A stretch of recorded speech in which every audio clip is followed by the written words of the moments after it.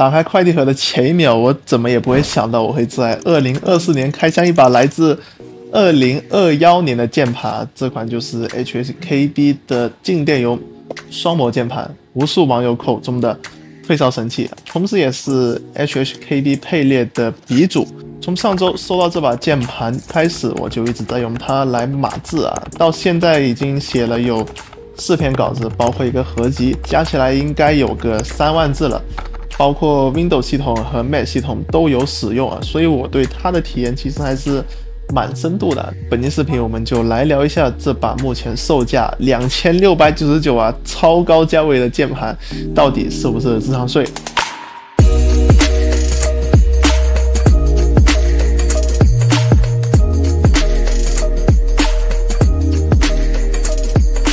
首先，键盘一上手啊，扑面而来的一股 OG 感。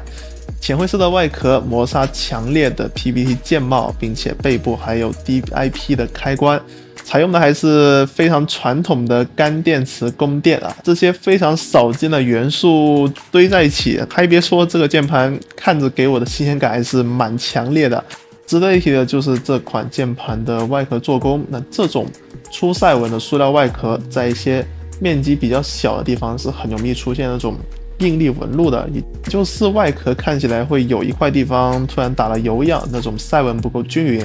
那 HHKB 这款键盘呢是完全没有这种情况的，整体的外观颜值给我的感觉还是非常高的，给人一种严肃工业品的感觉，就是那种十多年前的那种老式的日式电器。这把键盘能卖这么贵的原因啊，主要还是因为它的轴体静电容轴。和大家目前比较熟悉的那种阿米诺静电容轴是完全不一样的东西，更接近那一种传统的薄膜键盘。那正好我这里有一把薄膜键盘，两个放在一起对比啊，手感的差别还是蛮明显的。简单的描述一下，就是静电容轴的大段落手感之后，它还会跟一段小段的线性手感过渡。触底之后会有一定的硬接触啊，在大力去敲击的时候，其实还会有一点那种触底的确定感。正常的薄膜键盘它是会更软更散的，大段落手感是从头延伸到尾啊，后半段没有任何过渡，而触底的手感呢也会更软。这里借用一下可乐老师的拆解片段。可以看到，金立容轴内部呢，除了胶碗，还有一圈塔形的弹簧，这里便是和传统薄膜键盘明显有差异的地方。呃，一方面呢是为了增加轴体回弹，那另一方面就是为了金立容的感应触发。不知道是不是心理作用啊？这款 HHKB 的键盘在长时间码字的情况下，疲劳程度确实会比一般的机械键盘更加的低一些啊。可能不好说是不是心理作用，但。呃，用起来确实会感觉整一个过程更加的顺畅一些。作为 HHKB 配列的鼻祖啊，它的上手适应成本还是蛮大的。对比常规的配列，左下方的 Control 是没了，移到了大写上方的位置，并且这个 Cup 和 Tab 是做到了一起啊，依靠 FN 层级来触发。也就是说，我们平时用到的复制和粘贴，从原先的这样变成了啊这样。这也是我上手最难适应的地方，其他的地方的话还好啊。FN 移到了右下角，依靠组合键可以快速切换这个方向键。如果想切换键盘的键位啊，在背部这里有一个 DIP 按键，配合这里有一个小小的说明书，可以切换这个 Windows m a 模式，也可以把这一个 Delete 改成退格键。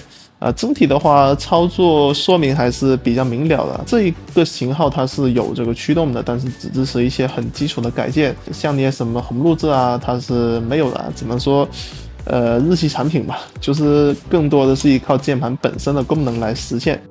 另外，我在使用的时候还发现一个问题，就是这款键盘的。键帽啊，每一个键帽都自带了一定的出厂打油，那绝对不是因为我用出来的，是我收到之后每一颗按键都有啊。呃，因为功能区上这些我不常用的键位，其实它也会有一点泛亮光，可能和当时的键帽工艺有一定的关系。对于这个价位，确实是有那么一点不应该。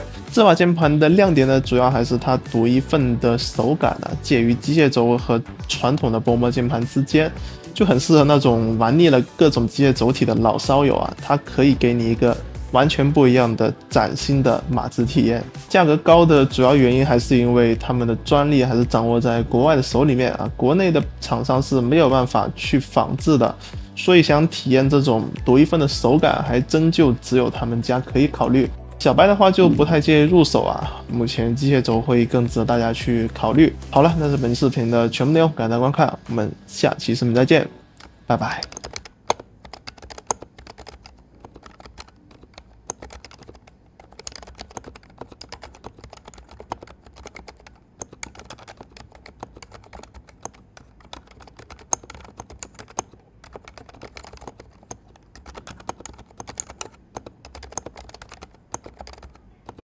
把二幺零四，如果粉丝们不嫌弃我拆的有点痕迹的话，就当我的六千粉福利吧。同样是在我的粉丝群私无招领，希望大家可以帮忙点个赞支持一下。最近呢，厂商都在卷七十配列，基本都不带百分之九十八配列往上的键盘玩。后台经常有观众私信我，让我推荐幺零四、幺零八，而且低价位预算的键盘，我都挺懵逼的，只能去推荐 IKVC 或者 iQOO 的一些存货，放到现在都不太能打了，没什么性价比。这把二幺零四算是。我的超人了，和 R 八七一样，走的是性价比路线。厂商那边给我的定价是单色基础轴版本是一百三十九元，RGB 的话是二百一十九元，加二十块钱可以升级到 K 黄和 K 白，再加十块钱可以升级到 K 银轴。如果是单色的版本的话，有二十一个键支持热插拔，分别是 QWER 和 ASDF，加上方向键等几个大键。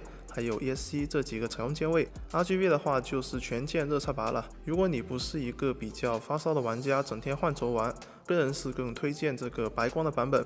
性价比最高，可以获得和 RGB 版相同的输入体验。二十一键可更换，也保证了后续对每个大键的 DIY 需求。键盘在外观方面，右上角是三道杠，末端的话就是指示灯。这个圆光的处理做的还是蛮好的。中间的话还有一层光区的分隔啊。其实我个人觉得这里可以做成幺零八键的版本。这个设计显得右上角有点空，不太能撑起场面。在外壳的做工上，比 R 八七有一定的进步。塑料外壳的消光做。得比 R 八七要好很多。我之前上手的 R 八七外壳就有很多地方会泛油光，R 幺零四上就没有这个问题，表面的磨砂纹路平整均匀，质感 OK。